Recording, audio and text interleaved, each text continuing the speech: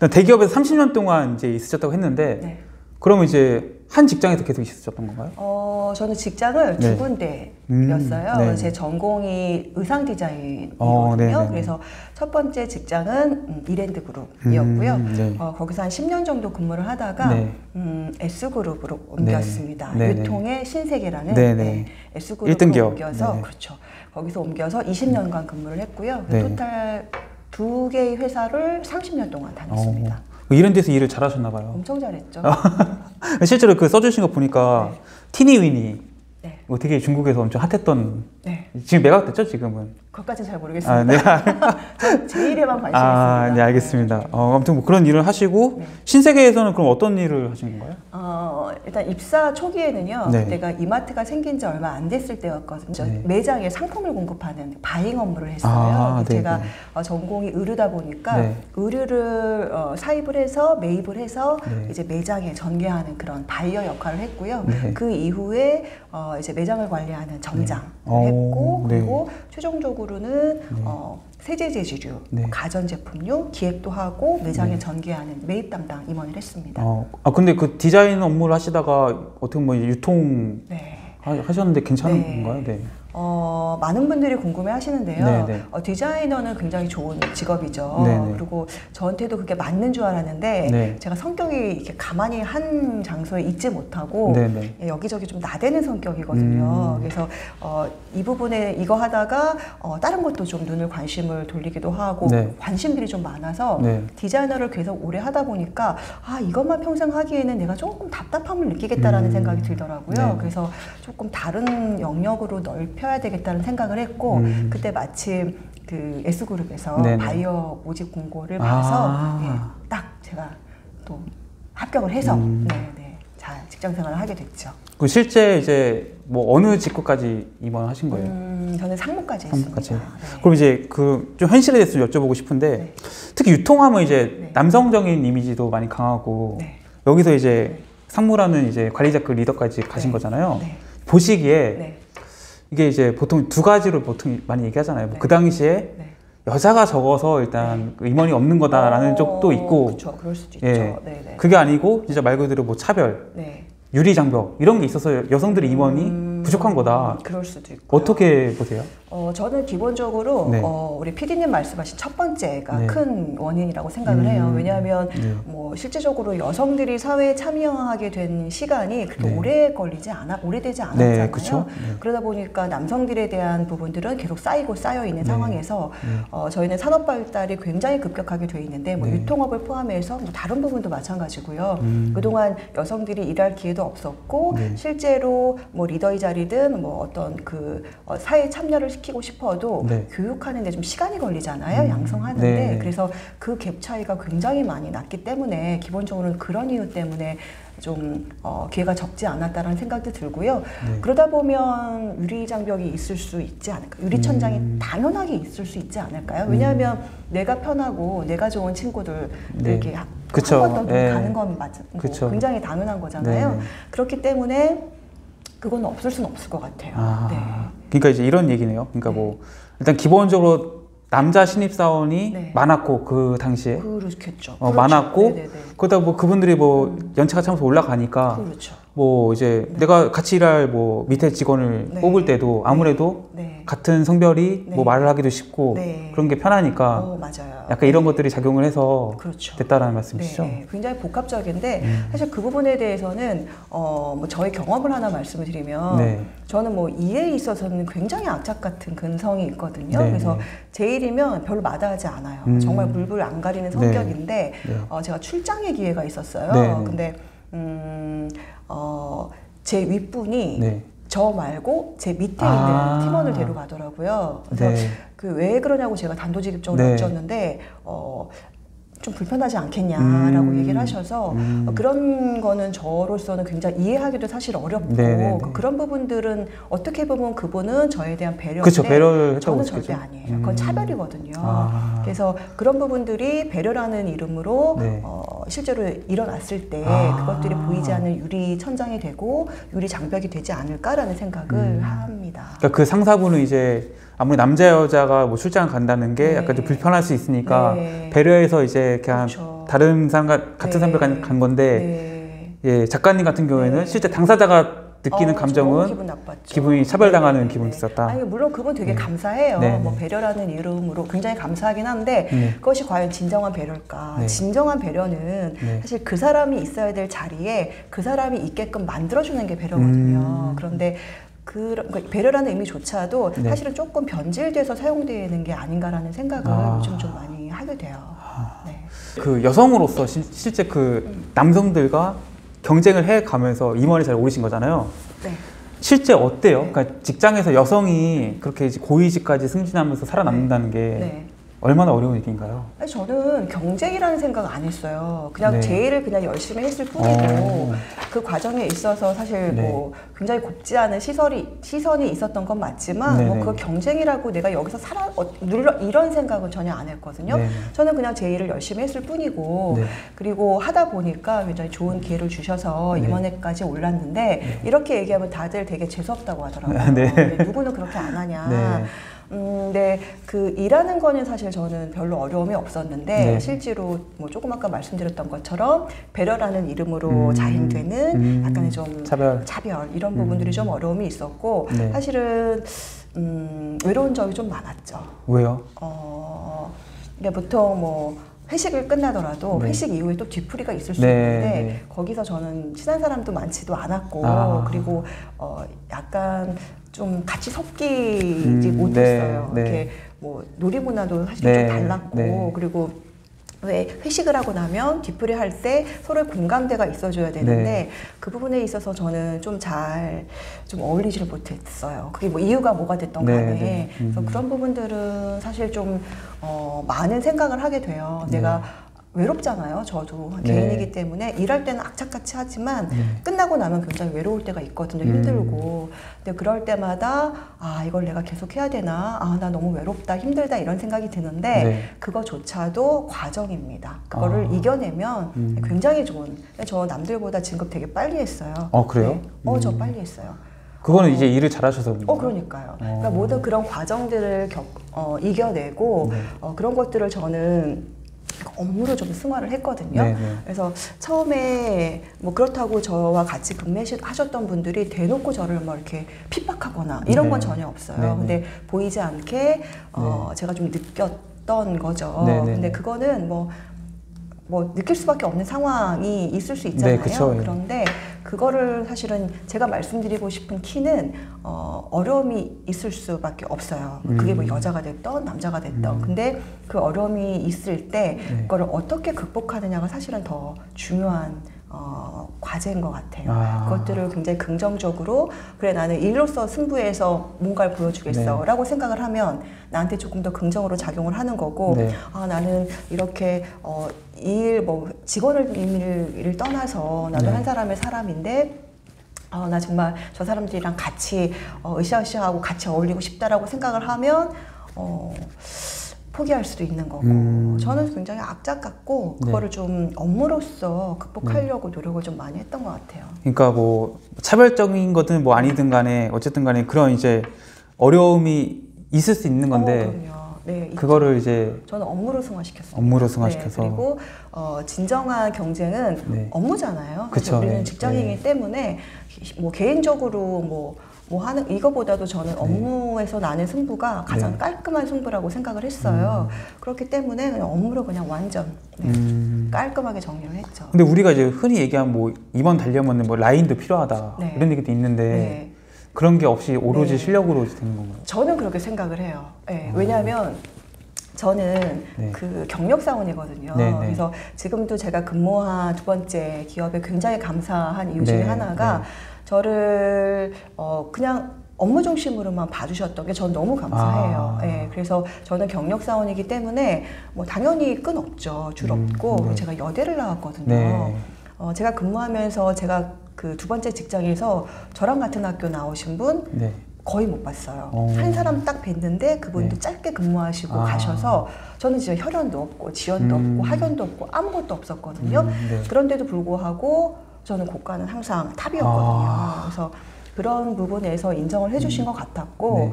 너무 감사하죠. 그 부분은 그래서 뭐 사람들은 혈흔 지연 학연 없으면 라인 없으면 임원되기 어렵다. 음. 저는 해냈거든요. 근데 그게 저만의 역량이라고 생각하진 않고 네. 있는 그대로를 봐주신 저는 제가 몸담았던 음, 그 기업의, 기업의 문화나 뭐 체계나. 음. 생각합니다. 예. 근데 최근에는 저희 기업뿐만이 아니라 네. 그런 문화들이 굉장히 많이 확산되고 있는 상황이잖아요. 그래서 어, 안 된다고 생각하지 마시고 열심히 하시다 보면 네. 언젠가는 광명이 찾아올 겁니다. 아. 반드시. 근데 그 이제 저는 책에서 좀 잠시 보긴 했습니다만 네. 정말 엄청나게 저 열심히 엄청났어요. 하셨던데요. 저 장난 아니에요. 조금 말씀해 주세요. 어, 뭐부터 말씀드릴까요? 얼마나 심하게 했는지 이 정도. 저는 음, 사실 직급별로 다 있는데요. 신입사원 때 제가 네. 디자인 전공을 했는데 네. 문과 출신이거든요. 네. 저는 뭐 이렇게 워낙 기본이 좀 네. 악착 같은과 약간 독한 범벅이에요. 네. 그래서 매 순간 독하지 않았던 적은 사실은 없었던 것 같아요. 음. 그래서 이게 직급별로 말씀을 드리면 네. 제가 신입사원 때는 제가 전공이 디자이너이긴 하지만 네. 문과 출신이에요. 뭐 음. 공부를 해서 들어갔단 네. 말이죠. 네. 그래서 옆에 디자이너는 미술계를 나왔거든요. 네, 네. 확실히 감각이 제가 너무 떨어지는 음. 거예요. 그래서 내가 보기에도 별로 마음에 안 드는데 윗분들이 보시기에는 얼마나 더 마음에 안 들겠어요. 그래서, 그래서 한 2년 동안은 거의 뭐 휴무 없었어요. 일요일 날도 출근했고 네. 뭐 미술관 가고 내가 실력을 늘리는 음. 거라면 정말 닥치는 대로 했어요. 아, 그렇게 한 2년을 하고 나니까 어느 정도 좀 비슷한 레벨로 올라가는 것 같았고 네. 거기다가 또 하나 붙은 꼬리편은 얘는 어, 회사에 충성한다, 음. 올인한다, 약간 음. 이런 이미지까지 얹어져서 어.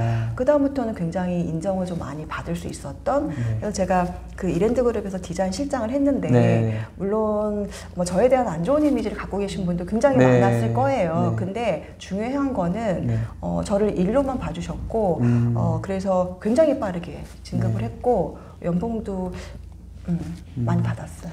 그러니까 일- 이랜드가 원래 그 일랜드로 유명하거든요. 저희. 완전, 네. 네네. 근데 그 안에서도 엄청나게 아. 일을 많이 하셨다는 거죠. 그렇죠. 근데 뭐 처음부터 일을 잘했던 건 아니고요. 음. 네. 그냥 정말 지지고 못 갔고 힘들었던 그런 과정들을 겪고 나니까 음. 어느 정도 이렇게 레벨업이 확 되더라고요. 아. 그러니까 그래프가 사실 서서히 올라가는 그래프도 있지만 네, 네. 확 뛰는 그래프도 있거든요. 음. 저 같은 경우에는 진짜 신입사원 때는 진짜 정말 개판이었었어요. 음, 음. 그러다가 정말 노력하고 하니까 네. 갑자기 이렇게 실력이 좀 향상되는 케이스였고 음. 어느 정도 실력이 좀 갖추어지니까 그 다음부터는 굉장히 활활 날았던 것 같아요. 어, 지자랑입니다. 아 대단하십니다. 셀프 네. 칭찬. 아 근데 여성분들은 특히 이제 그 이런 생각도 많이 하실 것 같아요. 나, 네. 나는 임신도 문제도 있고 어. 육아도 해야 되니까 그렇죠. 애초에 좀 남성하고의 네. 경쟁 자체가 좀 네. 힘들다. 네. 이렇게 생각하고 아예 포기하신 분들도 많을 것 같거든요. 그러니까 좀 안타까워요. 네. 근데 저도 사실 그런 경험을 했거든요. 아이가 있을 어, 저 아이가 지금 군대가 있습니다. 한 명인가요? 한 명. 어, 네. 진짜. 네. 그 임신과 아들 육아 생각만 하면 너무 감사하죠. 어쨌든 네. 그 저도 같은 경험을 했는데 네. 어, 임신을 하- 결혼을 했고 당연히 결혼을 네. 하고 예, 출산을 하고 해야 되는 과정에 있어서 네. 뭐 짧게는 1년 정도는 내 컨디션으로 일을 할 수가 없잖아요. 그렇죠, 그렇죠. 그것 때문에 내가 도태되지 않을까 정말 네. 걱정이 많이 되더라고요. 네. 그래서 남들보다 더 악착같이 했었던 것 같아요. 네. 그래서 어떤 경우가 있었냐면 임신 7개월 때 네. 외국 출장을 갔었거든요. 네. 그때는 제가 디자이너 실장을 했었을 때였는데 네. 왜 해외에서 하는 쇼를 보고 그걸 아이디어를 얻어서 네. 디자인을 했던 시기였는데 음, 임신 7개월 때 제가 이태리를 가는 그 비행기 출장을 갔어요. 네, 네. 남보다 뒤지고 싶지 않았거든요. 네. 근데 가자마자 아 이게 배가 너무 아픈 거예요. 네. 그래서 어 그땐 병원도 갈 수도 없었고 네, 네. 출장 일주일 동안 내내 호텔방에서 누워 있다가 네. 쇼도 못 보고 네. 그대로 한국에 왔는데 네. 어, 양막에 금이 갔다고 아, 하더라고요. 그래서 네. 지금 조금 더 움직이면 이렇게 유산기가 아. 있으니까 바로 그래서 병원에 실려가서 1년 아니 한 달 반 동안 꼼짝 없이 침대에 묶여 있었어요. 네. 움직이면 이게 양막이 찢어진다고 네. 해서 그 과정을 겪었고 그러고 나니까 더 조바심이 나는 거예요. 네. 근데 사실 병원에 있을 때에도 모든 컨펌은 제가 다 했죠. 누워서 네, 네, 네. 계속 친구들 네. 이렇게 컨펌할 거 갖고 오고 네. 그렇게 했었고 이제 출산을 했는데도 어, 이미 한 달 반을 쉬었기 때문에 더 이상 쉴 수가 없어서 그쵸. 한 3주도 안 돼서 제가 복귀를 했거든요. 네. 근데 임신 중독증도 걸린 상태여서 몸이 띵띵 부은 상태여서 네. 근데 나는 죽어도 회사 가서 죽겠다 네. 이런 마음으로 출근을 했고 네. 어, 지금 생각해 보면 진짜 내가 왜 그랬나 네. 사실 그거 별로 그 시기 별로 중요하지 않아요. 뭐 네. 얼마든지 본인 노력하면 극복할 수 있는 시기거든요. 네. 그런데 제가 그때 몸을 잘 못 풀어서 네. 요즘에는 어, 여름에도 사실 털 양말을 신고 다녀요. 뭐요? 발이 시려워서 어. 예, 산후조리를 잘못해가지고 아. 그래서 너무 그래서 둘째 낳고 몸 잘 풀면 그게 뭐 해결된다라는 얘기를 어른들이 하시더라고요. 어. 뭐 믿거나 말거나. 네, 네. 근데 저는 그거조차도 네. 사실 일하는데 매진하느라 그냥 하나애한테 만족하고 있습니다. 그리고 아. 첫째 그, 그 임신하고 출산하기의 과정이 너무 어려워서 네. 두 번째는 사실 자신도 없더라고요. 네. 근데 지나고 보면 음, 뭐 남자분이시지만 남자분들 군대 가시잖아요. 여자분들 출산하시고 네. 각자의 사실 어, 해야 되는 어떤 책임과 뭐 네. 의무 이런 부분들이 있는 것 같아요. 네. 근데 그 부분들을 생각하면 사실은 비슷한 입장 같기도 하고 음. 그리고 중요한 건 1, 2년의 시간들은 네. 본인이 노력하기에 따라서 음. 얼마든지 극복할 수 있어요. 음. 그래서 만약 그 부분 때문에 네, 네. 고민하시고 계시는 분들이 계시다면 네. 절대. 그러니까 그 시기에 해야 될 부분들이 반드시 있거든요. 네. 애를 나이 50에 낳을 수는 없잖아요. 네. 그 시기가 그쵸, 있거든요. 그쵸. 시기가 있죠. 그 시기에 맞는 것을 충실히 하고 네. 그것들이 끝났을 때더 네. 노력을 하면 네. 얼마든지 극복할 수 있다는 얘기를 저는 꼭 해드리고 싶고요. 네. 절대 고민하지 마세요. 그 시기에 해야 될 것은 반드시 하시고 네. 그래야 먼 시간이 흘러서도 후회하지 않으십니다. 음. 네. 후회하지 않는다는 거는 이제 음, 뭐 육아할 때 육아를 신경 쓰라는 말씀이신가요? 어, 그 시기에 해야 될 부분들은요. 음. 왜냐하면 저는 육아를 잘 못했기 때문에 네. 조금 아까 말씀드렸던 것처럼 건강이 되게 안 좋고요. 음. 사실은 일에 너무 매진하느라고 네. 우리 아이랑 많은 시간을 함께 있지 못했어요. 음. 그래서 저는 제 머릿속에는 우리 아이에 대한 기억이 네. 어렸을 적 기억이 별로 없어요. 아. 그래서 어, 뭐 다시 돌아갈 수도 없고 네. 그건 사실 천금을 주고도 못 사는 부분이잖아요. 그래서 지금 나이 들어서 생각을 해보면 우리 아이를 볼 때마다 네. 내가 너무 미안한 생각이 드는 거죠. 음. 그래서 그 부분에 대해서는 음, 그 시기에 해야 될 것은 반드시 하십시오. 아니 그러면 후회를 하세요? 만약에 네, 그 시간을 네. 돌려서 했는데 임원이 네. 못됐다. 네. 이거랑 아. 지금처럼 그냥 네. 하고 임원을 네. 되겠다. 어떤 걸 아니 선택하셨어요? 그런데 그 시간을 보냈다 하더라도 임원이 안 됐을 거다라는 거는 네. 아무도 모르는 거잖아요. 네, 모르죠. 어, 저는 했을 것 같아요. 기본적으로 음. 조금 더 내가 누리, 뭐 내가 네. 뭐 저는 쇼핑 좋아하고 네. 그리고 뭐 이렇게 개인적으로 뭐옷 사는 거, 뭐 네. 피부 관리하는 거 좋아하거든요. 네. 관리하는 것도 네. 저는 경쟁력이라고 생각을 하기 네, 때문에 네. 저한테 드릴 수 있는 시간을 조금 줄였겠죠. 음. 잠도 좀 줄, 음. 줄였겠고. 그리고 업무는 업무대로 했을 것 같아요. 물론 결과론적인 얘기긴 하지만 네. 어 그리고 뭐 그 시기의 것들을 모두 다 보냈다고 해서 네. 임원이 못 때리라는 법은 없거든요. 음. 그리고 어떻게 보면 제가 지금 드리고 있는 말씀이 어, 그 말씀드리고 있는 것들이 네. 어, 이것도 잡고 이것도 잡고 다 잡을 수 있는 어떻게 보면 팁이 될 수도 있는 음. 거니까 그런 긍정적으로 좀 활용을 하셨으면 좋겠다는 생각이 있어요. 또 일하실 때보다는 지금 상황이 많이 좋아졌잖아요. 제도도 어, 많이. 개선되고. 그럼요, 네. 맞아요. 네네네. 네, 알겠습니다. 네. 아까 그 차별을 되게 좀 많이 말씀하셨는데 네. 그 임원을 되기까지 이제 내가 좀 기억나는 차별들 사례들이 있으신가요? 음, 차별이라고 하면 네. 뭐 안 좋은 것만 생각을 네, 하시는데. 사실 좋은 것도 저는 차별이라고 오, 생각하거든요. 아, 네.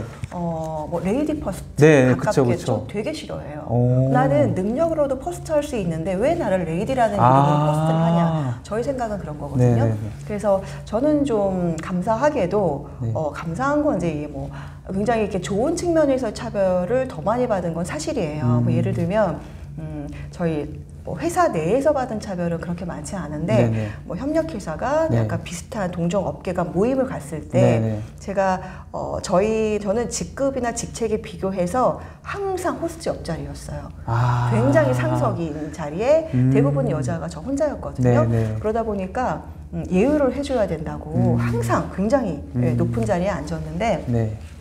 직급으로 보면 사실 저는 굉장히 문 옆쪽이거든요. 네. 그래서 이렇게 서빙을 해야 되는 자리인데도 음. 불구하고 어, 저는 항상 그렇게 대우를 받았죠. 아. 그래서 갈비가 구워져도 항상 네. 제자리에 먼저 아. 놔주시고 어, 저는 그게 너무 싫었어요. 아, 어, 불편하죠. 저도 손 있거든요. 그치, 불편하죠. 손 닿거든요. 네. 모든 반찬 이렇게 이거를 보- 들으시면 배불렀다고 아마 하실 수 있는데 그거 굉장히 불쾌한 경험이에요. 음. 불쾌해요. 왜냐하면 나는 내 자체로 내 능력 자체로 인정을 받고 싶은 거지 음. 성에 의해서 평가받거나 대우받고 싶지 않거든요. 아. 그래서 그런 경험들이 저는 굉장히 불쾌했고 네. 그리고 뭐 안 좋은 사례를 말씀을 드리면 네. 음, 처음에 이렇게 인사를 하게 되는 경우가 있잖아요. 네. 뭐, 뭐 회사나 이렇게 네. 인사를 하게 됐을 때 저한테 항상 어, 혹시 백 있으시냐고 물어보시는 경우가 많아요. 왜요? 왜? 어, 보통 여자들이 오기 힘든 자리를 아. 제가 많이 거쳤어요. 음. 그러니까 백이 없으면 오기 힘든 자리인데 음. 어떻게 오셨냐고 이런 얘기 많이 들으실 때마다 네. 저는 제가 몸담고 있는 회사에 감사하고 음. 반면에 야 이거 아직 멀었네 이런 생각 음. 들죠. 그러니까 그런 차별은 보이지 않는 차별도 어, 차별인 거잖아요. 네, 뭐 그쵸, 큰 그쵸. 뭔가를 해서만이 그쵸. 아니라 네. 그런 경우는 사실 많았고 네. 어 그렇죠. 네, 많았죠. 음. 네. 이게 그 약간 그 보이지 않는 차별이라는 게 네. 보통은 이제 좋은 나쁜 차별만 생각하는데 네네네. 저는 약간 그 네. 좋은 차별들 말씀하시면서 네. 어, 네. 전혀 생각해 보지 않았던 어, 부분이 있어요 사실. 예. 아, 사실 그게 더 저는 기분 나빴어요. 음. 그리고 뭐 이렇게 회식을 하거나 할 때 저한테 네. 항상 뭐 마지막 건배를 시킨다든지. 네, 네. 어머 저 근데 사실 어느 분은 제가 건배 많이 해서 좋겠다고 얘기하더라고요. 네. 근데 그게 정말 내가 그럴 위치가 되어져서 하는 건배면 얼마든지 해요. 그리고 음. 저 건배 되게 잘하거든요. 네, 네. 그래서 건배로 책을 한 권 내도 네. 될 정도로 네. 건배의 달인인데 네. 그런데 진짜 여성이라는 이유만으로 하는 거는 저는 아닌 것 아, 같아요. 이건. 그렇구나. 네. 건배를 잘한다는 건 어떤 의미인가요? 저는 뭐 그 분위기에 맞게 네. TPO에 맞게 네. 아주 잘합니다. 건배사를 잘한다는 건가요? 건배사. 아. 분위기 쫙 이런 잘합니다. 아, 알겠습니다. 그 이제 아까 신입사원 때 얼마나 독했는지 네. 말씀하셨잖아요. 뭐 대리 때는 네, 네. 어떠셨어요? 대리 때는 네. 어 제가 이렇게 임원도 되고 그래서 네. 사람들이 저를 저축을 굉장히 많이 했을 거라고 음. 부자일 거라고 상상을 하시는데 네네. 저는 실제로 번 거에 비해서는 모은 게 별로 없어요. 음. 왜냐하면 어, 대리 때도 음, 조금 더 이렇게 일로서 승부하기 위해서 네. 뭐 진급에 대한 생각도 좀 있었고 네. 어, 저는 해외 되게 많이 다녔어요. 그게 음. 여행이라기보다는 네. 출장으로 아. 네, 사비 출장. 음. 그래서 내돈 내산이란 하잖아요. 내돈 내출 많이 다녔어요. 어. 왜냐하면 제가 했던 업무는 보통 이렇게 트렌드를 견인하는 그쵸. 런 기획 네. 업무나 뭐 영업도 마찬가지고 네. 뭔가 선진 문명을 조금 더 빨리 봐야 되는 업무를 많이 했거든요. 네. 그런데 출장의 기회가 낮은 직급까지는 잘 올라오지 오지 않아요. 음. 그런데 그 윗분들이 출장을 다녀오시고 어, 그분들이 보신 내용들을 저희한테 쫙 풀어주시면 전 네. 너무 그게 어, 나도 빨리 저걸 아, 하고 싶다. 음. 그리고 내가 저걸 갔다 오면 나는 더 잘할 수 있는데 네. 내가 출장을 못 갔다고 해서 내가 이거를 일방적으로 받아들이는 거 이건 제가 약간 좀 퇴보하는 것 같은 느낌이 음. 들더라고요. 그래서 가장 가깝게는 뭐 일본, 홍콩 네. 거의 뭐 한 두세 달에 한 번씩은 1박 2일로 굉장히 많이 갔다 왔어요. 음. 그래서 마일리지 굉장히 많이 쌓였고 어. 거기서 무언가를 뭐 즐기고 이런 거보다는 네. 진짜 아침에 갔다가 뭐 백화점, 현지 네. 시장 조사 정말 빨빨거리게 아. 다리 부르틀 음. 아이고 침까지 아, 튀어나오면서 괜찮습니다. 했고 네. 그러고 나서는 이제 어 뭐 얘기 안 하죠. 내가 갔다 왔다는 네, 얘기 안 하고 네, 굉장히 네. 자연스럽게 나는 원래 그 트렌드에 굉장히 해박한 사람처럼 네. 행동을 하고 그렇게 정말 대리 때 뭐 대리 과정 때 초짜 과정 때는 엄정했죠. 어, 저는 별로 돈을 모으지 못했어요. 그러니까 돈만 생기면 그리고 내가 조금 아이디어만 안 생기면 바로 그냥 저는 일본행 티켓, 홍콩행 티켓 끊었거든요. 음. 어, 그래서 그것도 뭐 악착같이. 네. 그래서 뭐 그 출장 뭐 회사에서 주는 기회 기다리면 네. 어, 천년만년 걸릴 것 같아서 저는 빨리 레벨업 하고 싶었거든요. 아. 네, 대리 때는 네, 그렇게 야. 보냈습니다. 과장 부장 때는 어떠셨어요? 과장 부장 때는 네. 이게, 이게 과장부장 때는 이렇게 직급이 높다 보면 이제 네. 또 리더의 자리에 그쵸, 오르게 그쵸. 되잖아요. 네. 그때부터는 리더십 뭐 음. 이렇게 뭐 네.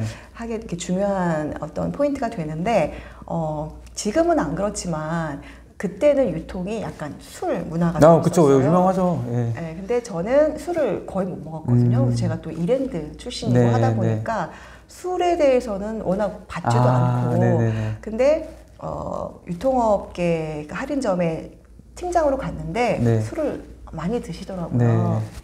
근데 술을 먹고 같이 으쌰으쌰 하는 것도 업무의 연장이기 때문에 네. 어, 정말 술을 엄청 퍼먹었어요. 아, 네. 근데 워낙 제가 뭐 몸도 별로 건강하지도 않은 상태에서 네. 해독 능력이 저는 별로 없거든요.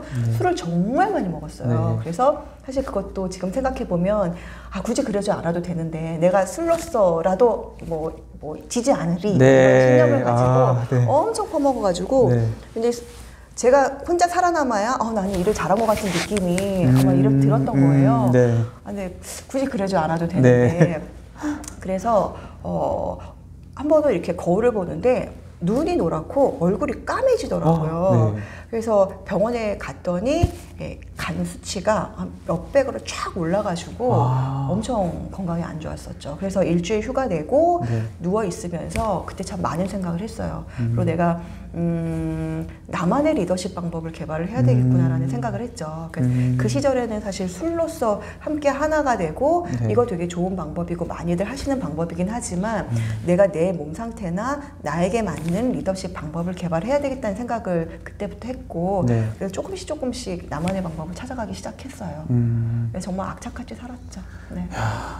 근데 그, 그 리더십이라는 건 그럼 어떤 리더십이었어요? 리더십은 네. 이게 정답은 사실 없어요. 네, 네. 없는데 어, 제가 그때 정말 높은 자리에 올랐었을 때만 해도 네. 여성분들이 어, 높은 위치에 계신 분들은 많지 않으셨거든요. 네, 네. 저 혼자서 리더십에 대한 공부를 해야 되는 네. 상황이었어요. 그래서 저를 아끼시는 선배분들은 리더십 책을 선물을 주셨는데 그게 네. 굉장히 부드러운 여성적 리더십에 대한 책을 선물을 주셨어요. 섬김의 리더십 뭐 이런. 거. 네. 예. 아, 섬김 물론 좋은데 네.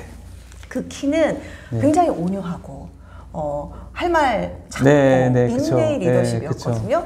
그래서 그러면 이게 정답인가 보다라고 했는데 네. 어, 저한테 너무 안 맞더라고요. 음. 일단 뭐 어, 너무 안 맞았어요. 네. 일단. 그래서 리더십이라는 것 자체가 어떤 회사의 목적을 위해서 목표를 한 바를 향해서 가면서 음. 어떤 낙오되는 팀원 없이 잘 이렇게 네. 케어해가면서 가는 거잖아요. 네. 아, 그렇게 하기에는 내가 낙오되겠더라고요. 아, 나부터. 왜냐면 음. 나한테 안 맞았으니까. 네, 네, 네. 사람마다 기질이 있는데 네. 어, 하나의 천편일률적인 방법을 강요한다는 것 자체가 이건 좀 안 맞는 그쵸. 거잖아요. 예. 그래서 거기서 제가 큰 깨달음을 얻고 그냥 어, 리더십이라는 원뜻에 충실하자. 음. 그러니까 제가 찾은 리더십은 네. 저는 굉장히 솔직해요. 네. 솔직한 사람이 부드럽지 않다는 건 아닌데 네네. 그러다 보니까 뭐 굉장히 직설적인 그쵸, 말이 나가기도 하고. 상처를 받을 수도 있단 네. 말이죠. 근데 업무에 대해서는 그럴 수밖에 음. 없어요. 음. 그런데 이제 업무를 끝내고 나서 개인적으로는 많이 좀 챙겨주는 편이에요. 아. 네. 그래서 뭐 그 제가 어 우리 후배 사원들 기억하는 친구들 많은데. 이렇게 캐릭터가 그려진 제 신용카드가 있거든요. 네네. 그거는 후배들을 위한 전용 카드예요. 오, 그래서 네. 일정 부분 한 달에 얼마 딱 적립을 해놓고 네네. 어, 물론 회사에서는 왜 굳이 그러지 않아도 된다라는 얘기 많이 하시는데 네네. 어, 저는 회사 돈으로 사주는 것과 내 돈으로 사주는 거는 다르죠. 차이가 있다고 다르죠. 생각하거든요. 예. 내 돈으로 사주는 건 정말 이 친구를 아끼는 그쵸, 거거든요. 그쵸. 그래서 더더욱이 저는 부자가 아니랍니다. 아, 아, 그, 그런 예. 것들 때문에 저는 생각보다는 네. 안티도 많지만 네. 따르는 친구들도 그러니까요. 사실은 좀 있었어. 감동받는 친구 많았을 것 같아요. 네, 의외로. 예. 의외로. 아, 네. 아, 그래서 이제 책에서 막 이제 보면은 이제 작가님이 이제 네네네. 꼭 이제 뭐 임원 되셨으면 좋겠다 그런 네. 멘트들이 나오는 게 이제 이런 것 때문에 그렇군요. 어, 사이 정경하라고 네, 하죠. 네, 네. 근데 대부분은 네. 제가 너무 업무에 있어서는 굉장히 굉장히 약간 이렇게 막 팍 파워풀하고 하니까 음. 그것 때문에 힘들어하는 친구들도 있죠. 분명히 네, 그쵸. 있고. 네. 근데 개인적으로 저를 좀 아는 친구들은 네. 어, 그래서 저는 일명 샤이 정경화라고 하죠. 네. 음, 정경화의 팬이긴 하지만 네. 어디 가서는 어, 왕따 당하기 그렇게 얘기했다가 아. 왕따 당하기 네, 쉬운 네, 그렇지만 분명히 존재하는 음. 샤이 정경화 음. 네, 저는 있다고 믿수, 믿고 있고요. 네. 아직도 그 친구들하고는 끈끈하게 연락 오. 네, 잘 하고 있습니다. 오, 네. 그 굉장히 그 일을 열심히 하시고 많이 하신 것 같은데 네. 혹시 뭐 시간 관리 원칙 같은 게 있었을까요? 시간 관리요. 네. 음, 시간 관리는 네. 어, 저는 꺼리를 안 만들어 놔요. 꺼리라는 게 네, 어떤? 꺼리를 거?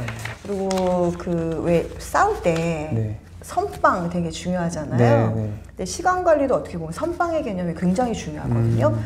일은 어, 시간은 저 이렇게 지배당하는 거를 워낙 좀 싫어하는 성격이라 지배당한 건 어떤 의미예요? 시간의 지배를 받는 거. 그러니까 무엇인가 내가 해야 할 일이 있고 네. 막 쫓기듯이 하면 아, 그 시간에 저는 지배당하는 것 같은 느낌이 네. 들어서 어, 되게 싫어요. 그래서 어, 시간아, 내가 너를 지배해 줄게. 네, 네. 그러니까 사실 저희는 일이 뻔하거든요. 예측할 수 있는 네. boundary 안에 있잖아요. 네. 저는 시키기도 전에 다 알아서 해놓고요. 음. 미리미리 좀 해놓는 편이에요. 음. 그리고 뭐 24시간이지만 자는 거를 빼고는 대부분 업무 시간으로 이렇게 좀 보냈던 것 같아요. 음. 실제로 이렇게 책상에 앉아서 일을 하는 경우도 일이지만 네. 출퇴근 시간을 활용해서도 네. 어, 일에 대한 생각을 하고 음. 뭐이 24시간에 잠자는 시간을 빼놓고는 대부분 일을 했기 때문에 네. 일은 그냥 땡겨서 저는 일을 하는 편이거든요. 음. 그러다 보니까 시간도 어, 생각보다 여유로워요. 네. 그래서 시간 관리라고 하면 땡겨서 하는 게 원칙이고요.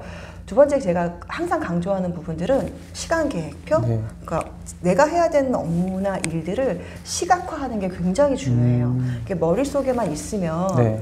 이게 막 아수라장 되잖아요. 네. 꺼내놓고 내가 봐서 봐야 이게 무얼 해야 될지 이게 가늠이 되는 거거든요. 네. 그래서 시간 계획표 꼭 쓰시라고 말씀드리고 싶고 음. 시간 계획표도 보통 어, 다이어리 많이 팔잖아요. 그렇죠.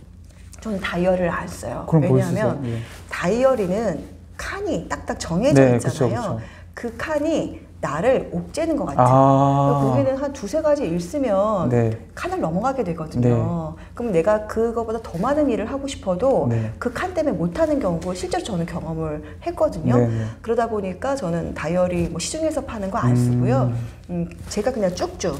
그러니까 얼마든지 내가 일을 하고 싶은 일, 해야 되는 일을 쭉 적어도 네. 선이 넘지 않은 정도의 아. 예, 그런 식으로 작성해서 쓰고 있고 네. 그리고 시간 관리를 할 때도 일별 관리하시면 안 돼요. 왜냐하면 네. 시야가 짧아지기 때문에 네. 어, 조금 더 장기적인 관점에서 주간 또는 월간 저는 3년 단위로 관리를 해요. 3년 단위로요? 네네네.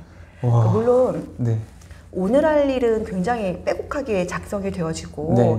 어, 뭐 1년이나 2년, 3년 이, 이때는 뭐 할 일이 사실은 없을 수도 있거든요. 네. 근데 이게 얼마나 장기적인 관점으로 네. 나의 시간과 계획표를 만드느냐에 따라서 내가 굉장히 큰 그림을 보게 되고 큰 시야를 음. 갖게 되거든요. 음. 그래서 그거 좀 익숙하시게 되면 네. 우리의 일이 사실은 연속선상에 있어요. 네. 그러니까 오늘 할 일과 내일 할 일이 네. 별반 다르지 않거든요. 그 이번 달 할 일과 다음 달 할 일이 별반 다르지 않아요. 네. 할때 그냥 한꺼번에 탁 하게 되면 어, 일을 굉장히 빨리 하게 되고요. 음. 그리고 완성도도 좀 높아지고 그러는 것 같아요.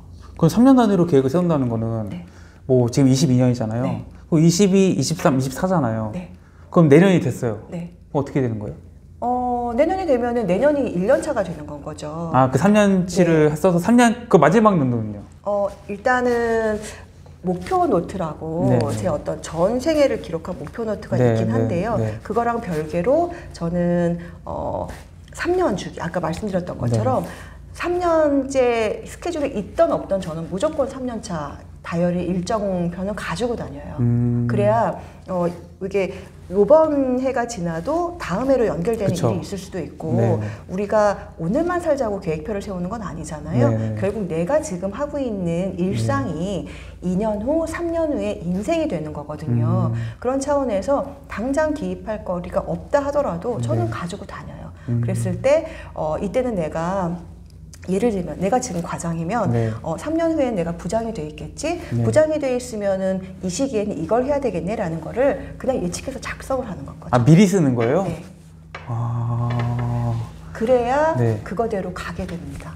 아, 그걸 이제 3년 단위로 하신다는 말씀이시죠? 네, 보여지는 거는 3년 단위. 목표 단위는 지금은 제가 50대 중반이니까 네. 지금 80세까지 기록돼 있고요. 아, 진짜요? 네. 그럼 이제 그런 것들이 보통 몇 퍼센트로 이루어지나요? 음, 이루어지진 않아요. 네.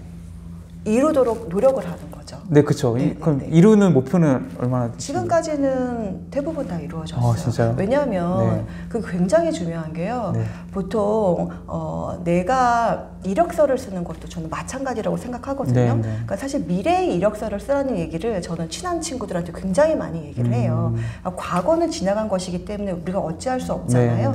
근데 내가 되고 싶은 어, 모습을 먼저 적는 건 거죠. 음. 그러면 내가 그 모습으로 되기 위해서는 내가 무언가를 해야 되잖아요. 네. 내가 무언가를 하지 않고 그 모습을 이루려고 하면 이건 양아치죠. 음. 네. 그렇기 때문에 내가 되고 싶은 모습을 기록하고 또 그거에 그거를 달성하기 위해서 내가 해야 되는 노력들 을 같이 적어두는 거거든요. 음. 그렇게 하다 보면 계속 그걸 보면서 내가 행동하게 하고 실천하게 하고 그러다 보면 이루어져 있어요. 와. 저는 거의 99% 이루어졌어요. 음.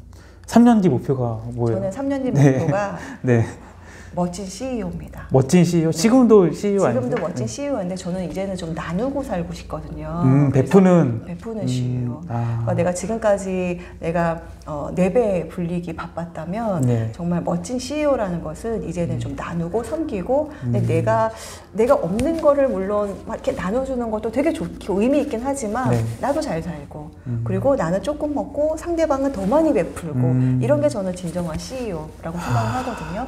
그래서 음, 멋진 CEO. 네. 그이 목표를 세울 때 우리가 뭐 목표를 어떻게 세워야 된다는 것도 있잖아요. 네. 목표 같은 거 어떻게 세우세요? 어떻게 세워야 예를 들어서 뭐, 네네네. 뭐 수많은 자기계발서에서 얘기하듯이 네. 뭐 이걸 뭐 현재형으로 네. 쓴다, 네. 뭐 숫자를 써줘야 된다, 뭐 이런 식으로 여러 가지가 있잖아요. 어, 어, 일단 저 같은 경우는 네. 제가 서른 살 때부터 목표 노트를 쓰기 시작했거든요. 네네. 40대의 목표는 어, 멋진 부장님이었어요. 음. 그리고 멋진 부장님에는 이제 또 달리겠죠. 네네. 뭐 직급은 아니 직급은 부장이니까 네. 뭐 외모는 이렇고 네. 경쟁력은 이렇고 네. 뭐, 뭐 어떤 인간관계는 이렇고 네. 한 서너 가지 항목을 쭉 항목별로 해서 네. 모습을 그려놓고요. 음. 그럼 그 모습에 따라서 내가 무 어떤 부분을 채워야 되는지에 대한 또 이렇게 음. 문제가 이렇게 어떤 그 솔루션이 나오겠죠. 네, 네. 이런 부분을 적고 50대에는 저는 임원이었어요. 음. 그 임원이 되기 위해서 또 어떤 모습의 임원을 쭉 적고 네, 네. 그걸 위해서 또 무엇 해야 될지 적고 네. 60대는 방금 말씀드렸던 것처럼 멋진 네. CEO고요. 그리고 70대는 아, 자선 사업가입니다. 다 음. 퍼주는. 음. 근데 이게 이제 좀 말씀하신 건 추상적인 거잖아요. 네, 그래서 네. 뭐, 예를 들어서 멋진 CEO다 네. 하면은 네. 이게 뭐 남들한테 어, 멋, 멋지세요라고 말을 네. 들으면 되는 건지 네. 이게 이제 목표 네. 달성을 네. 우리가 평가할 때 좀 이제 보호할 수 있잖아요. 멋진 CEO의 부제는 네. 어, 번만큼 나누는 CEO라고 돼 있어요. 음. 전 많이 돈을 벌고 싶고요. 네네. 그 돈을 버는 이유 중에 큰 이유 중에 하나는 많이 베풀고 음. 나누고 싶거든요. 음. 그래서 지금은 한 단어로 말씀드려야 되기 때문에 네. 이게 많이 함축적일 수밖에 네. 없는데 네. 실제로 노- 목표 노트를 보면 어, 그거에 대한 어떤 그 과정들이라든가 음. 내가 해야 되는 이런 일들이 네. 빼곡히 적혀 있습니다. 아, 또 그 일을 굉장히 잘하시고 많이 하셨으니까 이거 꼭 물어봐야 될 것 같아요. 네. 업무를 이제 어떻게 처리하는 좀 특별한 방식이 있으세요? 업무 처리 방식이요. 네네. 어, 어떤 일부터 처리해야 되느냐를 음. 물어보시는 거잖아요. 네네, 그렇죠. 뭐 업무 방식, 네, 어떤 업무부터 처리해야 되느냐 보통 네. 우선순위라고 많이들 하시더라고요. 네. 아, 저는 우선순위의 팁은 네. 한마디로 말씀드리면 네. 아, 윗사람이 챙기는 일부터 해라. 아, 윗사람 그래야 챙기는 일부터. 욕 안 먹습니다. 아, 그리고 이왕이면 네. 직급이 좀 높으신 분, 음. 그리고 성격이 더러우신 분, 음. 이 하라는 일부터 챙기시면 됩니다. 그리고 그 윗분들은 일을 주실 때 물론 뭐 이렇게 토요일까지 해, 아니 금요일까지 해라고 네. 말씀을 주셔도 네. 어, 화요일이나 수요일쯤 어떻게 됐어라고 묻거든요. 그쵸. 예, 그렇기 때문에 철칙은 윗분들이 챙기는 일부터 하라. 그러니까 음. 철칙이고요.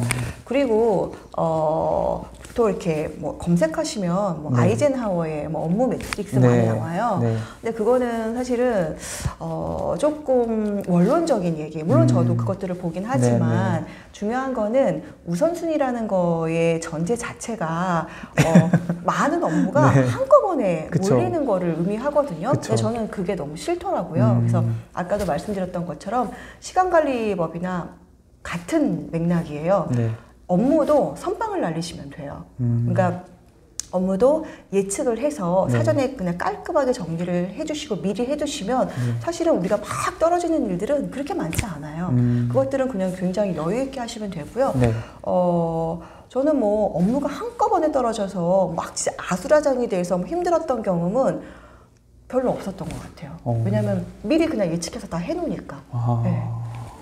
그러니까 우리 이제 우리가 보통 이제 뭐 이렇게 얘기하잖아요. 뭐 중요한 일, 중요하지 않는 일, 음, 음, 뭐 음. 긴급한 일, 긴급한 일 이렇게 뭐 네. 나눠서 사분면을 해서 네. 말을 하는데 네. 그런 거는 네. 사실적으로 실제적으로 어, 적용하기는 사치죠. 예, 사치고 사치고 네. 제가 그걸 한번 적용을 해봤어요. 네. 제가 적용을 한 게 아니라 네. 오배사원들이 물어보더라고요. 왜 저는 사실 네. 조금 아까 말씀드렸던 것처럼 윗분들이 하라는 일 먼저 하고 그냥 싸그리 그냥 해놔서 어떤 일이 오더라도 그냥 여유 있게 처리하는 게 저의 업무 방, 그 처리 방식인데 음. 아, 똑같은 얘기들을 너무 많이 하시니까 네. 어떻게 하면 일을 잘할 수 네, 있냐 네. 하시니까 나름대로 찾아보고 그 방법을 제안을 해주고 실제로 적용도 해봤거든요. 근데 이 중요한 게 이게 업무가 네. 그거를 못하는 거예요. 어떤 게 중요하고 긴급한 일인지 음. 그러니까 사고나를 한다 분류를 하더라도 거구나. 분류를 못 하더라고요. 아. 그러니까 이게 분류를 할 정도가 되면 네. 업무에 굉장히 숙달이 되어 있는 경우가 음. 돼야 이게 분류가 가능하거든요. 음. 근데 그거를 분류할 정도가 되면 네. 사실은 동물적인 감각으로 타타타타닥 처리할 수 있어요. 아. 네.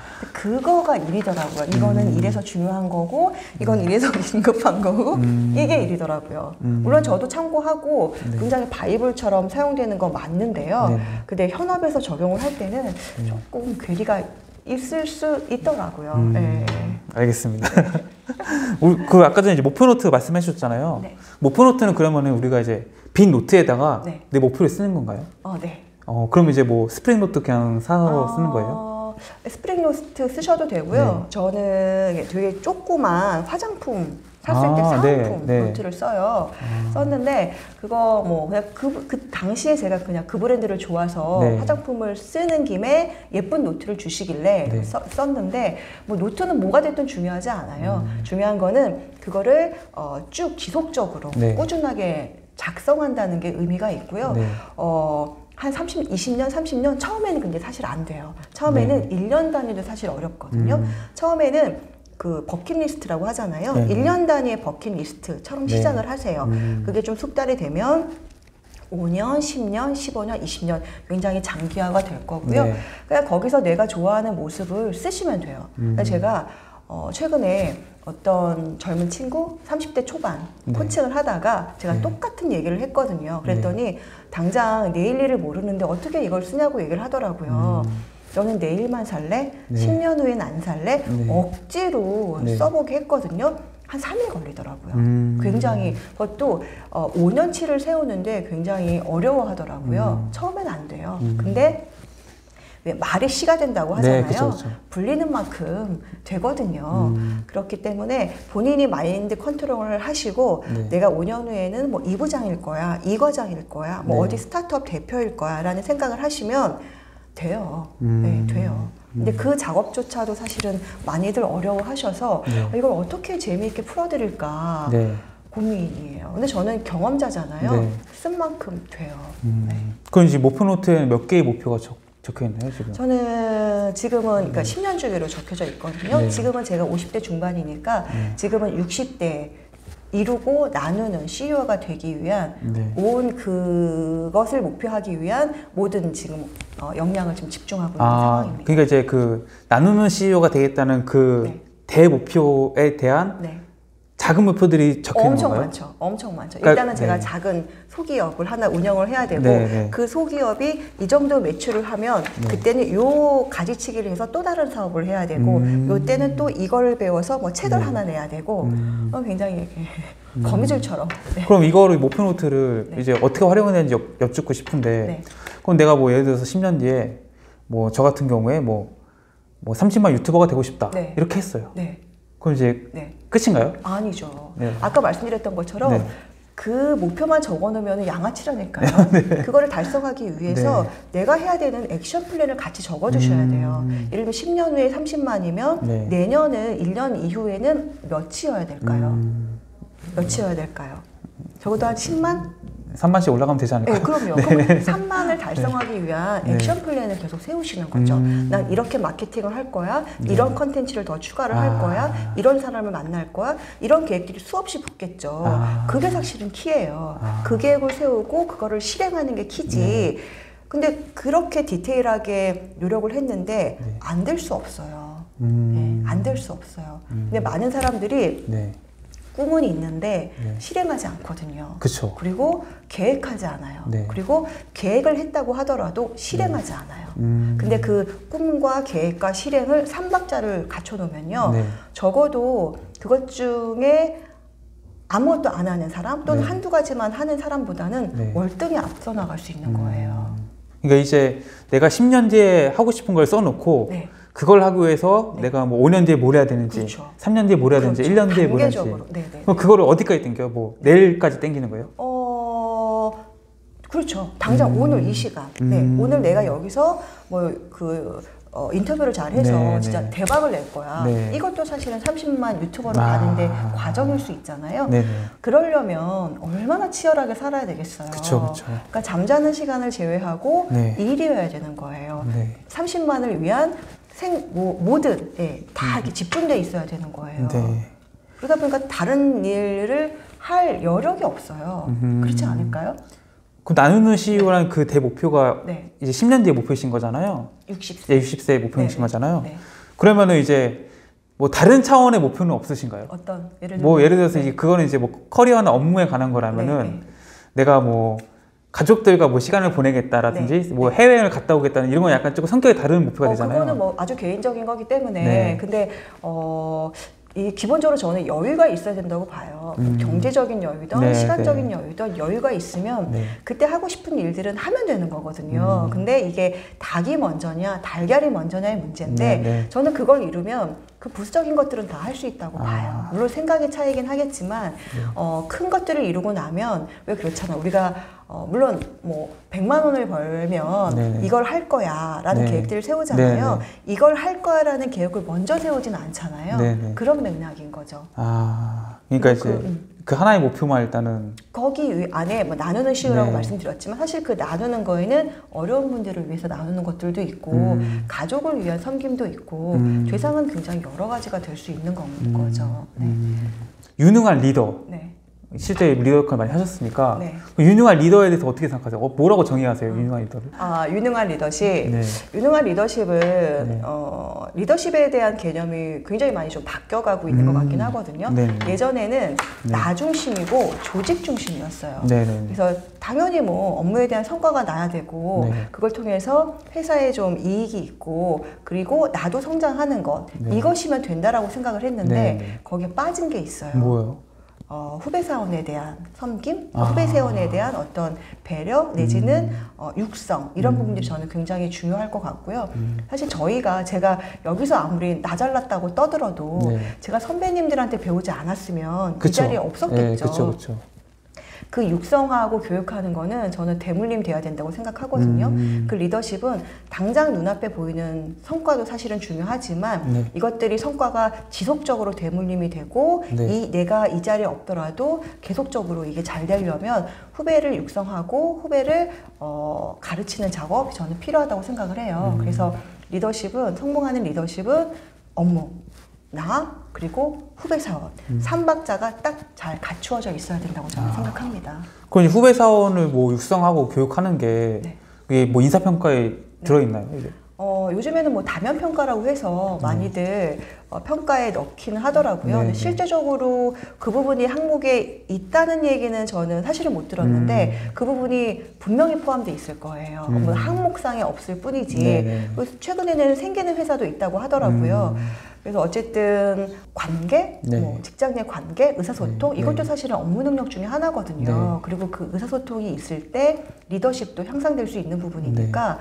후배 사원과의 소통을 통한 뭐 리더십 그리고 네. 관계, 뭐 코칭 이런 부분들은 저는 굉장히 중요하다고 생각을 해요. 네. 음, 알겠습니다. 그 책에서 저는 조금 의아했던 부분이 흔들리는 갈대보다 부러지는 소나무가 되어야 한다. 이제 네. 보통은 이제 뭐 네. 너무 꼿꼿하면 부러지니까 네. 흔들리는 갈대가 아, 되어라라고 그런가요? 얘기하지 않나요? 네. 네네네. 어떤 의미인가요? 근데 아, 이거는. 네. 어, 그 제가 주목하고 싶은 건 사실 갈대와 네. 소나무를 주목하고 싶었는데 네네. 갈대는 속이 비었어요. 그쵸. 소나무는 속이 꽉 찼어요. 네네. 그러면 어느 쪽이 네. 본인의 실력을 쌓기 위해서 더 노력했다라고 보여지세요?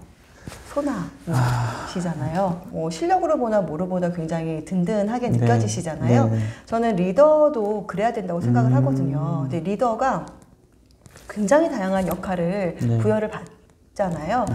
뭐 당연히 뭐 문제 해결 능력도 있어야 되고 네. 어떤 뭐 성과를 창출하는 데 있어서 뭐 기획력도 있어야 되고 네.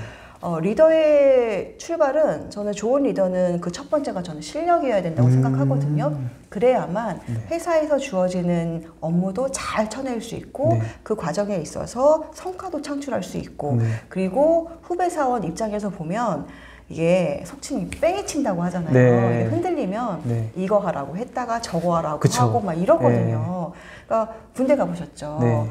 이게 뺑이 치는 게 제일 짜증나잖아요. 그쵸, 그쵸. 후배 입장에서 보면 기분이 나쁘기도 하고 사실 그거는 로스라는 측면에 있어서도 바람직하지 그쵸. 않아요. 예. 이게 후배 사원의 시간이 팀장 리더의 시간은 아니거든요. 그쵸. 회사의 시간인 네. 거고 그거를 마음대로 본인이 능력이 없다고 해서 음. 그것을 마음대로 쓸 수 있는 권한이 이 리더한테는 없단 말이죠. 네네. 그러려면 본인이 실력으로 무장이 되어 있어야 되기 때문에 네. 그래야 되기 때문에 저는 음, 소나무형 음. 리더가 되어야 된다고 생각을 하고 네. 사실 뭐 여러모로 로스죠. 흔들리면 음, 맞습니다. 저는 옆 뭐 제가 예전에 모시던 팀장님의 친한 팀장님께서 회의만 갔다 오면 네. 그렇게 계속 매번 다른 미션을 주시는 거예요. 아, 그러니까 네. 목표는 하나인데 네. 오늘은 A 하라고 했다가. 어, 임원분 말 미팅 갔다 오면 네. 또 B 하라고 네, 하고 네. 또 갔다 오면 C 하라고 하고 진짜 뺑이 치는 건 거죠. 음. 기껏 A를 해놨는데 다시 갈아 엎어야 되잖아요. 네. 그런 조직은 성과가 있을 수가 없어요. 음. 왜냐하면 같은 시간을 하- 할애를 하니 쓰는데 네. 같은 시간을 쓰는데 네. 몇번 굉장히 자주 이거를 계획을 바꾸다 보니까 네. 다시 처음부터 시작을 해야 되는 거잖아요. 음. 그때 중심이 돼야 되는 부분들은 팀장님의 어, 리더분들의 실력인 건 거죠. 음. 그래야 어, 일관성 있게 쫙 나갈 수 있기 때문에 네. 저는 그런 면에서 네. 어, 흔들리지 않는 실력 있는 음. 소나무가 돼야 된다고 생각합니다. 이번 달기 직전이 이제 네. 부장이잖아요. 네, 네, 네. 근데 그 부장 정도 되면은 네. 그 실력 차이가 많이 나나요? 아, 날 수 있어요. 날수 있어요? 날 수 있어요. 어. 날수 있어요. 어. 네. 그럼 거기서 이제 진짜 탁월한 성과를 내신 분들이 임원을 다는 건가요? 음, 뭐 임원이라는 게 사실 성과가 중요하긴 하지만 네네. 꼭 성과만 가지고 다는 거는 아닌 것 음, 같아요. 음. 어쨌든 뭐 매번 올라갈수록 어, 어, 굉장히 바늘구멍이 되는 건 어. 맞는 거니까요. 네. 그 과정에서 계속 실력이 없는 사람들은 도태되고 도태되고. 음. 그래서 어떻게 보면 최종 목적지까지 최종 아, 그 가장 높은 자리에 올라가기까지 계속 네. 뭐 미션을 부여받고 통과하는 사람들이 어, 더 높은 곳에 올라갈 수 있는 거니까요. 그 이제 올라갈수록 이제 중요해지는 게 이제 위임인 것 같아요. 네. 이제 내가 4시간, 24시간 한정되어 있고 음. 할 일은 좀 많아지고 하면은. 네네. 남들한테 뭔가 일을 시키거나 맡겨야 되잖아요. 네. 이 위임이라는 게 참 어려운 것 같은데 네. 위임은 잘 네, 하셨어요? 저 위임 잘 못했죠. 어, 위임에서 아니, 어떠세요? 예. 제가 네. 위임을 사람들이 잘 못해요. 그쵸, 어렵죠. 예. 여기서 분명하게 좀 구분해야 될 거는 위임한다는 것과 일을 떠맡긴다는 건 완전히 네. 그쵸, 다르거든요. 그쵸. 근데 많은 분들이 위임이라는 이름 하에 네. 떠맡기는 경우도 사실 많고 음. 그래서 제대로 된 위임이라는 네. 게 무엇인가를 먼저 생각해 봐야 될것 네. 같아요. 근데 위임은 네. 사실은 내가 실력이 있었을 때 네. 후배들한테 어, 맡길 수 있는 게 위임이거든요. 근데 사람들이 의외로 위임을 잘 못해요. 음. 그 이유가 크게 두 가지인데요. 네, 네. 첫 번째는 내가 해야만 직성이 풀리는. 그쵸, 네. 그쵸. 대부분 많이 그래요. 작가님도 약간 그러실 저것 같아요. 완전 그렇죠. 네, 네. 완전 그렇죠. 네. 토시 하나도 제가 다 봐야 되는 거죠. 네, 네. 그런데 어 그게 사실은 제가 잘못된 생각이죠. 음. 왜냐하면 내가 일을 시켜보니 네. 후배 사원들이 너무 형편없이 갖고 오는 거죠. 네, 네. 그게 혀- 후배 사원들의 문제이기도 하지만 어떻게 보면 내 문제가 커요. 음. 그 후배 사원들은 경험이 없는 거지 네, 네. 실력이 없는 건 아니거든요. 음. 그러니까 그 후배 사원한테 내가 그 일을 할 수 있을 만한 기회를 줬을까? 네. 그 생각을 먼저 해보시고 아. 그리고 생각해 보면 내가 그 친구한테 그 일을 할 수 있을 만한 기회와 권한을 안 뒀던 건 음. 거죠. 기회만 주면요, 저보다 더 잘할 수 있어요. 음. 제가 그거를 느낀 네, 이후에 네. 그다음부터는 위임을 굉장히 잘하기 시작했는데 네. 위임을 못하는 이유 한 가지가 더 있어요. 네. 그거는 약간 찌질이 스타일. 왜? 왜냐면 네. 내가 이 친구한테 일을 맡기면 얘가 나보다 더 잘할까 봐. 아. 그래서 누군가가 이거 누가 했어라고 네, 얘기했을 때 네, 네. 얘예요라고 얘기하기가 너무 그쵸. 조심. 상하는 예, 거죠. 예. 그래서 못하는 경우가 진짜 많아요. 어. 예. 그두 가지 때문에 위임을 잘 못하는데 네. 그렇기 때문에 위임은 정말 어려운 거예요. 음. 왜냐하면 어, 내가 정말 잘할 자신이 있어요. 네. 아랫사람이 빵꾸를 내도 네. 펑크를 내도 네. 내가 그거를 커버할 수 있을 정도의 자신감이 있어야 음. 그리고 이 친구가 설령 이 어, 프로젝트에서 나보다 돋보인다 하더라도 네. 내가 이미 그때까지 쌓아놓은 어떤 음, 뭐 이렇게 네임밸류 네. 이런 게 있을 때 자신감이 생기는 거잖아요. 네. 그랬을 때 어, 할 수 있는 게 위임이기 때문에 저는 리더에 있어서 위임은 네. 뭐 어떻게 보면 실력과 같이 간다라고 할 수 있는 건 거죠. 그 위임을 처음에 어려워하셨잖아요. 네. 그, 아, 위임에 대한 그 생각을 바뀐 결정적인 뭐 계기나 사건이 있으셨어요? 음, 사실은 네. 제가 이렇게 윗 자리에 올라갈수록 제가 네. 다못 그쵸, 쳐내겠더라고요. 못하죠. 예, 네. 그래서 어느 순간 네. 처음에 시작은 그냥 약간 약간 놓는 네, 개념이었어요. 네. 어, 나 이거 못할 테니까 네가 좀 해줘. 네. 어떻게든지 될 일을 맞춰야 되는 상황이었거든요. 네, 네. 얘가 생각보다 너무 잘하는 거예요. 어, 그래서 네. 아 내가 잘못했구나. 네. 이제 맡겨도 되고 어 그때부터 이제는 적절하게 배분을 해서 하고 나니까 저는 원래 일을 잘하는 사람이기 때문에 음. 네, 네. 뭐 저도 뭐 탄탄하게 갈 수 있었고 네. 위임을 잘하면 어, 더 좋은 거 한 가지는 네. 팀에서 하는 업무의 완성도가 높아져요. 음. 나 혼자 하는 것보다 머리를 맞대고 했을 때 더 낫지 그쵸, 않을까요? 그쵸. 확실히 완성도가 높아지기 때문에 네. 더 칭찬을 제가 받았거든요. 음. 그렇기 때문에 그때부터는 굉장히 적절하게 네. 그리고 나보다 이 친구의 아이디어가 더 있는 것 같으면 네. 차라리 굉장히 적극적으로 활용하기도 하고 음. 그래서 더 성과가 더 많이 났던 것 같아요. 그럼 아까 두 번째 말씀한 찌질이 형 음, 같은 찌질이, 경우에 네. 아 내가 얘한테 위임했다가 네. 얘가 더 잘하는 거 사람들이 네, 알게 네. 되고 네, 인정받고. 하면은 네, 이제 어떻게 보면 하극상이 일어날 수 있는 거잖아요. 있죠. 그러면 그런 분들에게 어떤 좀 조언을 해주고 싶으세요? 어, 그냥 찌질이로 살아라. 왜냐면 그런 네. 찌질이들은 네. 어떤 조언을 하더라도 아, 안 들어요. 그렇죠, 그렇죠. 안 들고 당해 봐야 알거든요. 음. 그리고 본인은 알겠죠. 내가 찌질인지 왜이 힘을 못하는지 음. 알겠죠. 그러면 본인 실력을 키우셔야 돼요. 아. 그리고 이게 어느 정도까지는 찌질이로 살기 살 수 있어요. 네, 예를 네, 들면 네. 뭐 일정 직급까지는 네. 그 정도로 살 수 있는데 네. 방금 말씀드렸던 것처럼 더 높이 올라가려면 네. 내가 그 일 다 못 쳐내거든요. 네. 후배 사원들의 능력을 적극적으로 활용을 하셔야 돼요. 음. 그러니까 더 높이 올라가고 싶으면 네. 지금의 찌질이 근성을 버리고 여러분의 실력을 키워서 네. 후배 사원들의 열정과 실력을 적극적으로 활용해서 네. 어, 더큰 시너지를 만들어서 더 크게 성과를 내라. 음. 그 말씀을 꼭 드리고 싶어요. 음, 결국 그런 사람들은 뭐 임원까지 올라갈 수가 없겠네요. 혼자서 하는 업무는 확실히 한계가 그쵸, 있거든요. 그쵸. 네. 음. 어, 이제 작가님하고 제가 좀 얘기를 나눠보니까 네. 작가님의 의도와는 상관없이 네. 예, 작가님의 말 때문에 네. 상처를 받으신 분들이 꽤 있었을 것 같다라는 생각이 들긴 드는데 어 정말요? 나 노력했는데. 네, 아 참. 어, 이제 그 상, 상대방한테 상처 주지 않으면서도 네. 좋은 관계 유지하는 방법이 좀 네. 있을까요? 어, 저는 네. 그세 가지를 말씀드리고 싶은데요. 네네. 첫 번째는 거리두기예요. 거리두기. 네. 보통 우리가 상처를 받을 때 네. 지나가는 뭐 동네 아저씨한테 상처를 받지는 않잖아요. 그쵸, 그쵸. 뭐 이렇게 전철 안에서 옆에 하는 아줌마한테 상처 안 받잖아요. 네, 그쵸, 그쵸. 상처를 주는 사람이 대부분은 친한 사람이거든요. 음. 근데 친해지면 네. 뭐두 번째 이유와 뭐 두 번째 뭐 얘기가 연결되는 거지만 네. 친해지면 서로에게 기대게 돼요. 그쵸. 뭐 내가 이만큼 해줬으니까 너 그쵸, 그쵸. 해줘. 예, 예. 그렇게 하다 보면 이제 상처가 이렇게 네. 눈덩이처럼 이렇게 많아지게 되는 거거든요. 네. 그러려면 첫 번째로 일정한 거리두기는 필요해요. 음. 저희가 제가 신입사원 때 네.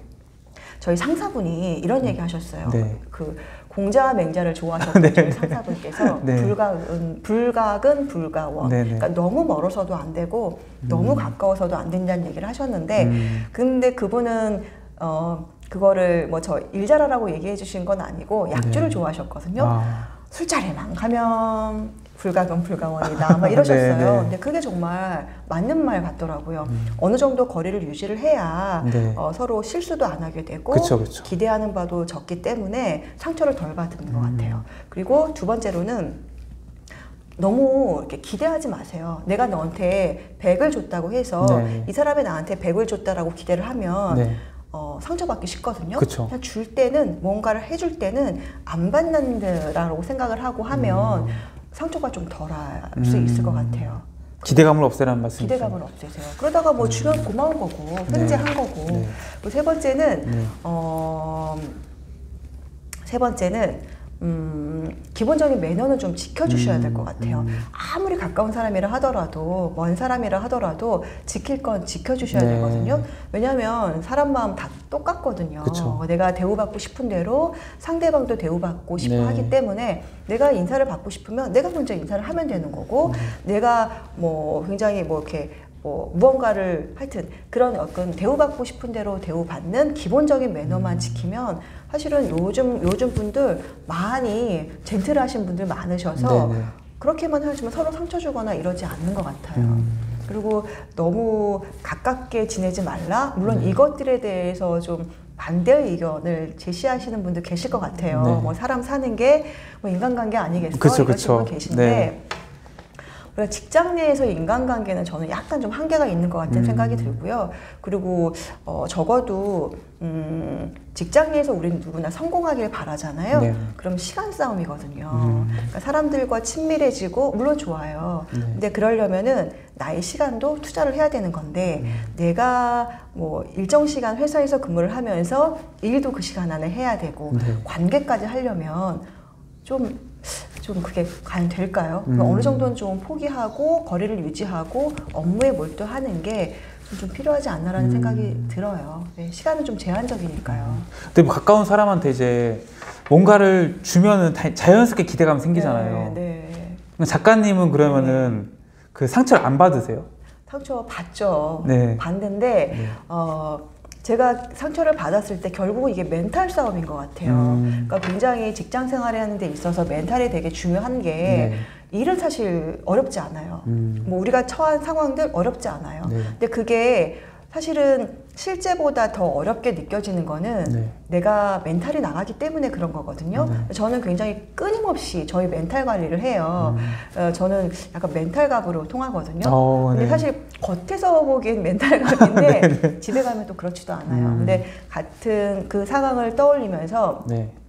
감정을 개입을 안 하려고 노력을 하죠. 음. 그래서 나는 뭐 제가 기본적으로 이성적일 때뭐 그 생각하는 어떤 몇 가지 기준들을 막 되뇌이면서 아 나는 100을 줬지만 너 100 줬을 때 안 받기로 너 마음 생각했잖아 네. 이런 생각들을 저를 굉장히 막 이렇게 되뇌이면서 네. 스스로를 조금 관리를 좀 많이 하는 편이에요. 음. 그리고 상처를 받는다고 하면 네. 어 그냥 상처 상처를 받는데도 사실은 시간이 필요하거든요. 감정이 좀 필요하잖아요. 그쵸, 그쵸. 그때 근데 저는 뭔가 자꾸 그냥 하는 편이에요. 그걸 아, 잊어버리게. 아. 뭐 내일 해야 될 일을 먼저 한다던가 네. 메일을 먼저 작성을 해놓는다던가 음. 뭔가를 몰두하는 데가 있으면 잡생각 안 들거든요. 음. 그렇게 많이 좀 전이를 좀 시켰던 것 같아요. 후배 여성 직장인 분들이죠. 네. 이제 후배 이제 뭐 대기업에 입사하고 뭐 중소기업 입사한 여, 여자 사원분들 네. 보시면은 네.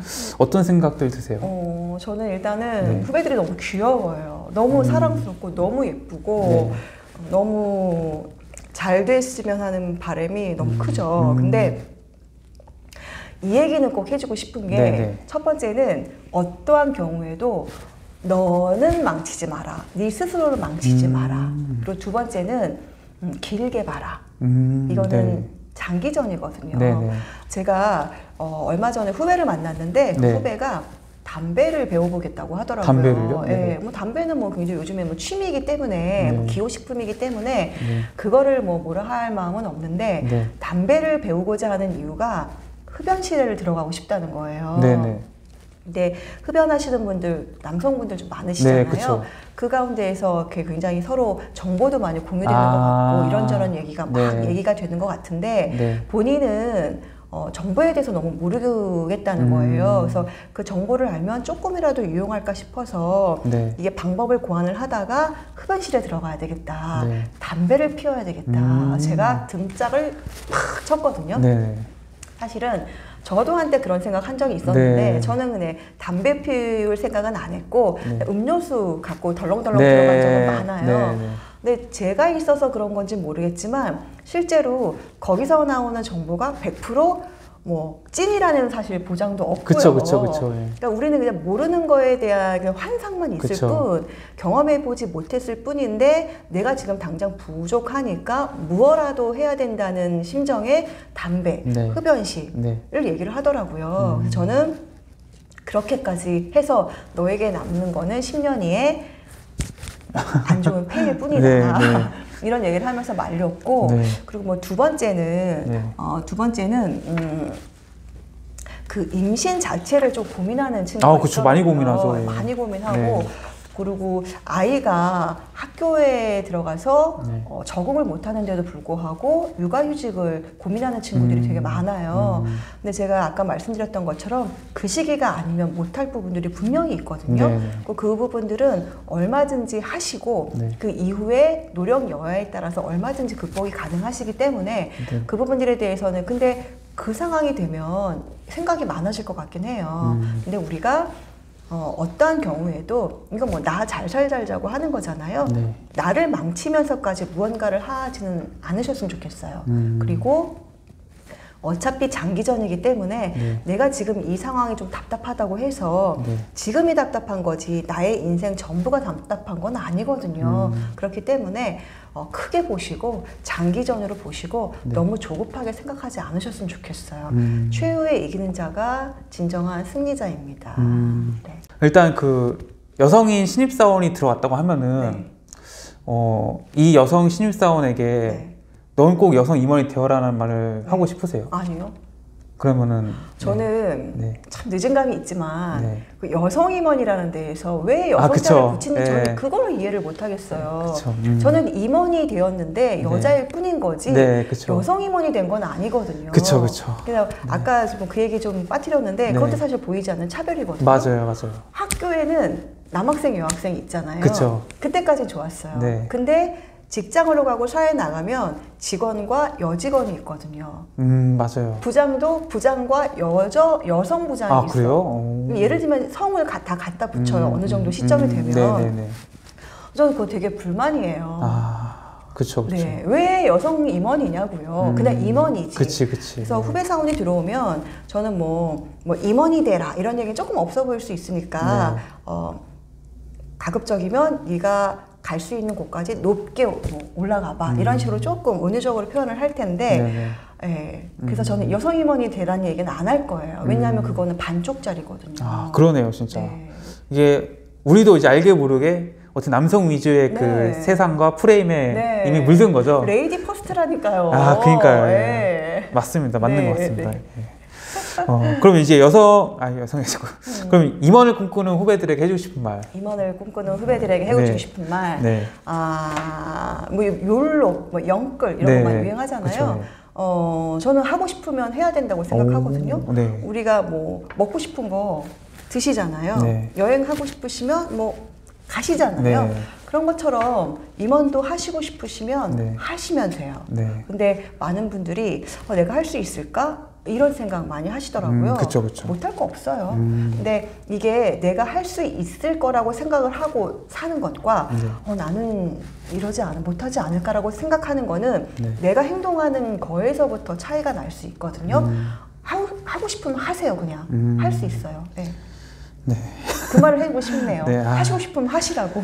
네. 참 말은 참 쉬운 말인데 이게 네. 참 실천하기 어려운 거라. 그 과정에는 아까 그 목표 노트나 아. 네. 무던히도 노력을 해야 그쵸. 되는 거죠. 네. 그 이번에 쓰신 책 제목이 네. 독한 언니의 직장생활 백서잖아요. 네. 그럼 이거는 이제 여성분들을 타겟으로 아니요. 하신 건가요? 아, 저 그 질문 진짜 많이 들었는데 네, 네. 아, 이게 젠더 갈등을 부추기는 거 아니냐 네, 이런 네. 얘기 많이 하셨거든요. 네. 근데 어 제가 오빠는 아니니까요. 아니 독- 오빠? 네. 아 독- 누나는 누나? 아니 뭐, 뭐 독한? 독한 사람. 독한 사람. 너무 친근미가 떨어지잖아요. 네, 네, 네. 이거는 약간 좀 친근하게 하기 위한 약간 마케팅의 네. 한 방편이었는데 음, 이것들만 좀 부각하시는 분들이 계셨어요. 저는 음. 직장 생활을 열심히 해서 어, 원하는 위치에 이루고 좀더 큰 꿈을 꿀 수 있는 그런 음. 네. 어떤 큰 희망과 이것을 네, 주고 네, 싶었는데 네. 독한 언니라는 거에 좀 포커스를 많이 맞추셔서 음. 이걸 좀 약간 갈등을 부추기는 네. 분이 계시더라고요. 음. 어, 저는 그렇게 그 계략적이지도 않고요. 네. 그리고 뭐 사상적이지도 않고요. 음. 그냥 많은 분들이 잘 되기만을 바라는 사람이기 때문에 네. 또 실제로 남성분들이 보시고 나서 네. 어, 도움 받았다는 얘기 되게 많이 하셨거든요. 음. 사실 뭐 이만 오르는데 너나가 어딨겠어요. 다 오르고 그쵸, 싶지. 그쵸. 예. 이 책이 훨씬 유용하실 거라고 전 생각이 됩니다. 아, 정말 근데 그 내용을 생각해 보면은 그렇게 사실 여성적이지는 않은데 않아요. 이제 네네네. 제목부터 이러니까 어. 여성이라는 시선을 프레임을 갖고 딱 보니까 이제 약간 이게 제가 잘못했어요. 네, 그, 제- 아니 제목 직접 지으셨나요? 네. 아 그러셨구나. 아니, 저는 이게 친근함을 주기 아, 네, 했는데 네, 네. 일단 알겠습니다. 네, 절대 여동생만을 위한 책이 아닙니다. 알겠습니다. 후배들을 위한 네. 책입니다. 네. 이제 끝으로 구독자분들이 해주고 싶은 말씀 하면 좋을 것 같습니다. 네, 저 일단 이런 기회 주신 우리 피디님께 너무 감사드리고요. 이게 30만 유튜버 빨리 되시길 바라겠고요. 아, 네. 어, 제가 오늘 드린 말씀이 어, 굉장히 많은 얘기를 드렸지만 네, 맥락은 하나인 것 같아요. 네. 어, 목표를 설정을 하고 계획을 하고 실천을 해라. 음, 사실 그 얘기 꼭 해드리고 싶고요. 네. 어, 구슬이 서말이라도 그쵸. 껴야 된다는 그쵸. 네. 속담 있잖아요. 하시면 돼요. 근데 음. 많은 분들이 안 하시면서 그냥 계획만 하시거든요. 음. 그러니까 지금 유튜브 우리 어, 피디님 네. 그 유튜브 나올 때마다 꼭꼭 챙겨 보시고요. 네. 그 나머지 시간은 어, 계획하시고 실천하시는데 매진하신다면 우리 구독자 분들께서 원하시는 꿈 반드시 이루실 수 있을 겁니다. 네. 네. 그래서 오늘은 이제 독한 언니의 직장생활 백서 저자 정경아 작가님을 모시고 얘기 나눠봤고요. 오늘 너무 좋은 말씀 정말 감사하고요. 아, 네, 제가 감사합니다. 구독자분들도 정말 감사합니다. 네, 네. 고맙습니다. 감사합니다. 됐습니다.